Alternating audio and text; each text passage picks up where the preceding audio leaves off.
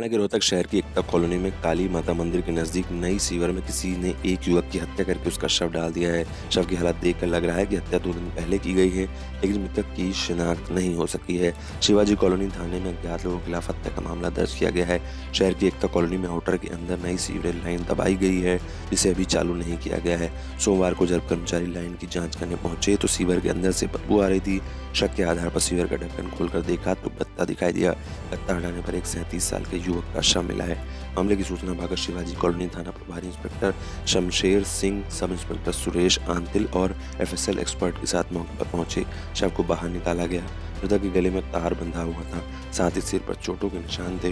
इतना ही नहीं, उसकी घुटनों के ऊपर से पैंट फटी थी। लग रहा था किसी ने पहले उसकी हत्या की, इसके बाद कसीर कर सीवर के अंदर डाल दिया, ऊपर से ढक्कन लगा दिया। पुलिस का अनुमान है कि शव की हालत देखकर लग रहा है कि हत्या पाँच दिन पहले की गई है।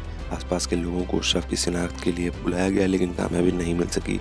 मृतक प्रवासी श्रमिक लग रहा है। शिवाजी कॉलोनी के थाना प्रभारी इंस्पेक्टर शमशेर सिंह ने बताया कि मृतक की शिनाख्त नहीं हो सकी है।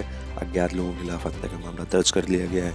आसपास के लोगों से पूछताछ की जा रही है ताकि मृतक की शिनाख्त हो सके। इसके बाद ही वारदात का खुलासा हो सकेगा।